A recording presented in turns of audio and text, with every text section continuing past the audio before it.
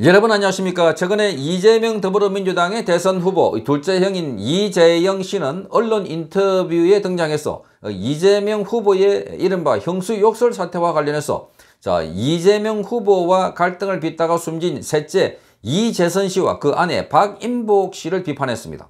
그러니까 자 이재명의 그 위에 둘째 형이죠. 이 둘째 형인 이재영 씨가 이미 숨진 어, 이재선 씨와 그 부인인 박인복 씨를 비판하고 오히려 이재명 어, 후보의 편을 들어줬던 것입니다.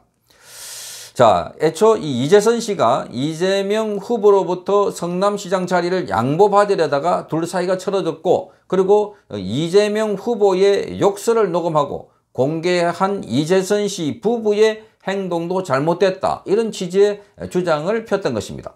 자, 그러니까 둘째 동생, 둘째 형인 이재영 씨가 첫째 형인 이재선 씨의 주장에 이 반대되는 것 그러면서 이재명에게 어, 편을 들은 듯한 이런 발언을 했던 것입니다. 이에 이재선 씨의 부인인 박인복 씨가 강하게 반발했습니다. 자, 박인복 씨는 2017년 남편 사망 이후에 처음으로 언론 인터뷰에 출연했습니다. 그리고 어, 이렇게 말했습니다. 이재영 씨, 그러니까 둘째죠. 둘째 이재영 씨는 2012년 멀쩡한 동생 이재선 씨, 그러니까 이 이재, 선 씨는 셋째인 것 같습니다. 멀쩡한 동생 이재선 씨를 자 이재명 후보의 뜻대로 정신병원에 강제로 입원시키기 위해서 정신감정 의뢰서를 썼던 인물이다고 밝혔습니다. 자, 그 증거로 박 씨는 당시에 이재영 씨가 서명했던 의뢰서를 공개했습니다.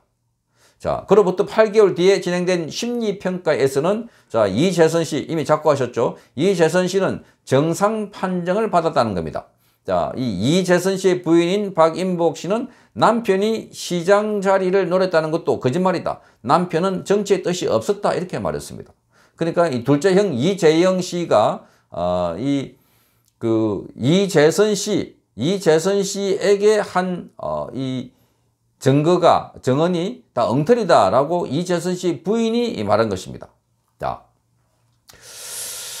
자 논란의 시작은 이재영 씨가 7일 어, 날 CBS 노컷 뉴스와 진행한 인터뷰였습니다. 자, 이재명 후보의 형제 간 갈등에 관해서 이렇게 정언했습니다.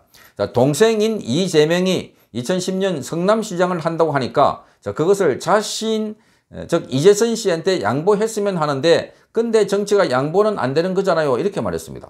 또 넷째, 자 넷째가 이재명 후보입니다. 넷째인 이재명 후보는 사법고시 나와서 변호사 개업할 때부터 정치의 뜻이 있었다. 아, 이런 것 같고 이재선은 처음에는 안 했던 것 같다. 그런데 동생이 시장을 한다고 하니까 거듭 예, 설명을 했습니다. 동생이 시장을 한다고 하니까 그런 마음이 생겨서 이제 양보하라. 이런 이야기를 했다는 겁니다.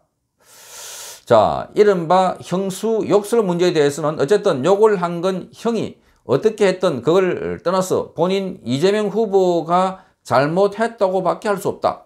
자, 평생 자기가 살아가는 동안 안고 있어야 했다. 이렇게 말했습니다. 그러면서도 이재영 씨는 그 원인으로 어, 재선이가 너무 심한 욕을 했던 것이다. 아무리 형제 간에 싸우더라도 하지 말았으면 어떻게 보면 동생인 이재명 후보가 그런 욕까지 안 했을 것이다. 이렇게 말하고 있습니다. 또 형수 욕설 녹음 파일에 대해서는 그걸 또 세상에 밖에 내보낸 것 자체도 그건 셋째가 잘못한 것이다. 자, 재수 씨인 어, 박인복 씨, 그 이재선 씨 부인이죠. 재수 씨가 말렸어야 했다. 그 부분을 설령 녹음했다고 하더라도 그걸 빼고 공개하든지 해야 됐다. 이렇게 말했습니다. 자, 이걸 보면 지금 어, 이재영 씨는 둘째고 이 둘째가 이제 밑에 이재선 씨가 셋째입니다. 이재선 씨는 이미 작고를 했고 넷째가 이재명입니다. 그러니까 이 둘째가 지금 이재명과 어, 이재선 씨가 갈등하고 있는 그 셋째와 넷째 사이에 갈등하고 있는 사이에서 둘째인 이재영 씨가 자 이게 에, 이재명의 이, 설명 이재명 측의 에, 주장에 대해서 많이 좀 힘을 실어주는 그런 내용인 것 같습니다. 그러자 어, 이 내용에 대해서 박인복 씨 그러니까 이 이재선 씨의 부인인 박인복 씨가 자, 이 9일날 조선일보 유튜브에 나와서 반박을 했던 것입니다.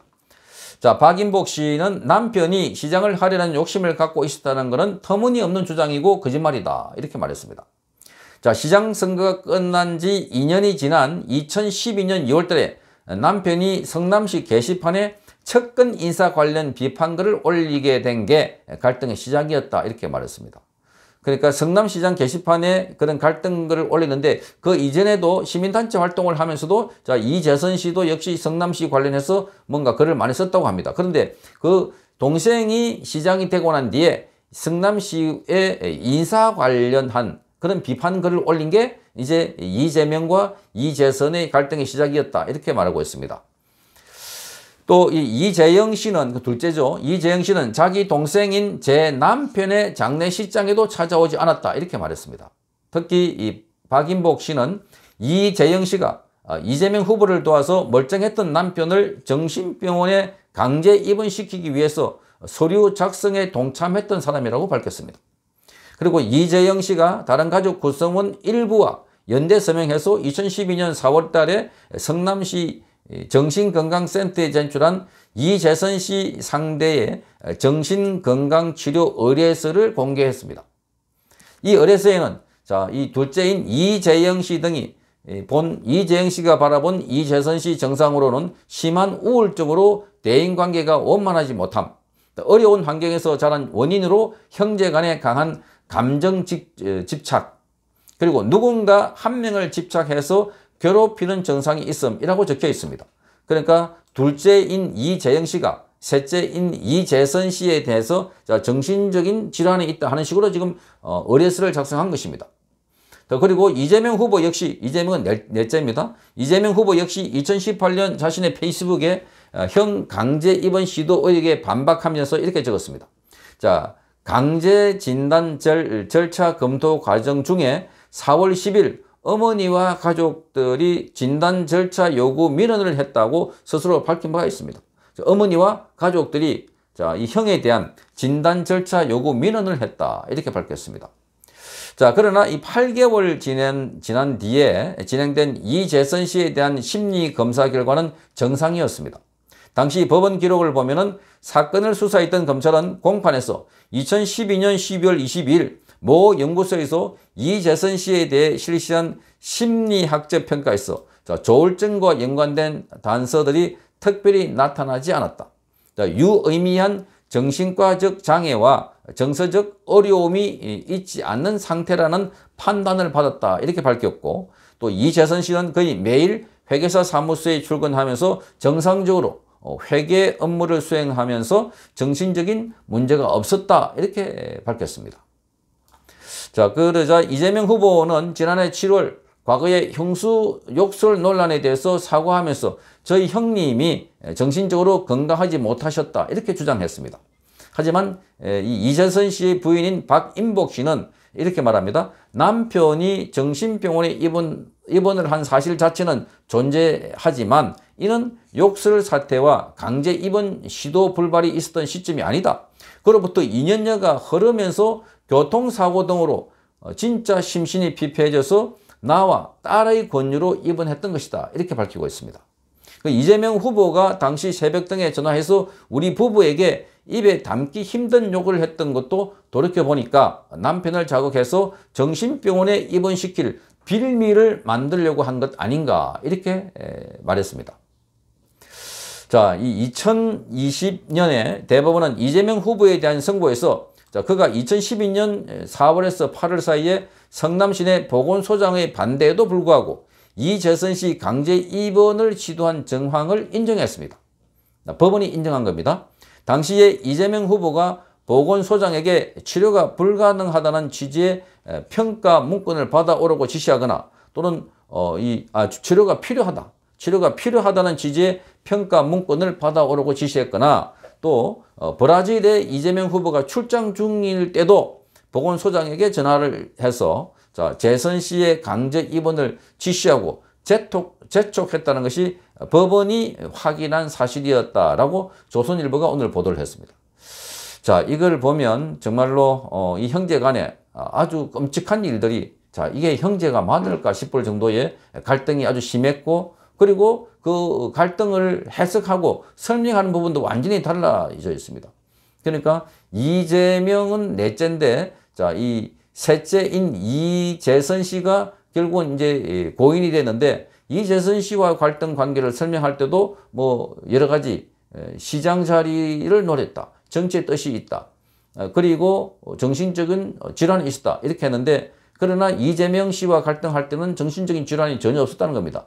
그 2년 뒤에 2년 뒤에 어 뭐 교통사고도 나고 그 생활이 아주 비폐해져 가지고 그래서 그 부인인 박인복 씨와 딸의 권유로 병원에 입원했는데 마치 그걸 앞으로 쭉 돌려가지고 2년, 2년 앞으로 돌려가지고 그것 때문에 정신병원에 입원하거나 이런 문제가 있었기 때문에 갈등했다. 이런 식으로 설명하고 있는 것을 보면 이게 잘못 설명하고 있는 것이다. 아주 교묘하게 상황을 왜곡해서 설명하고 있다 하는 이야기를 하고 있습니다.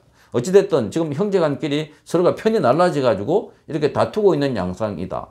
자, 이걸 보면 수신제가 치국평 천하는 말을 굳이 하지 않더라도 자, 자기 집안 문제도 제대로 관리하지 못하고 다스리지 못하고 해결하지 못하는데 어떻게 나라를 다스리겠다고 나왔을까? 이게 이제 기본적으로 많은 어, 국민들이 우려하는 대목이기도 합니다. 거기다가 정과 사범에다가 또 어, 욕설에다가 그리고 배우와의 스캔들에다가 뭐 조폭으로부터 돈을 받았다는 의혹 등등 해서 지금 뭐 플랜카드가 밖에 나가면 걸려 있지만 자 선진국답게 그런 후보를 뽑고 싶다.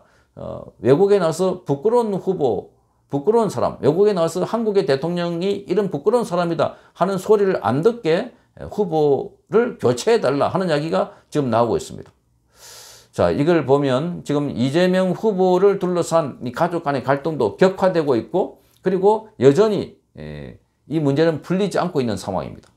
자, 뭐, 이, 김부선 씨 사건도 마찬가지입니다. 본인은 분명히 이재명과의 관계, 어, 이 사적인 관계, 엄밀한 관계를 가졌다라고 주장하는데 아니다라고 설명하고 있는 부분들. 자, 이거 보면 앞으로 해결해야 되고 설명해야 되고 또 해명해야 될 부분들이 너무나 많은 것 같아서 자, 이걸 언제 다 해명할까?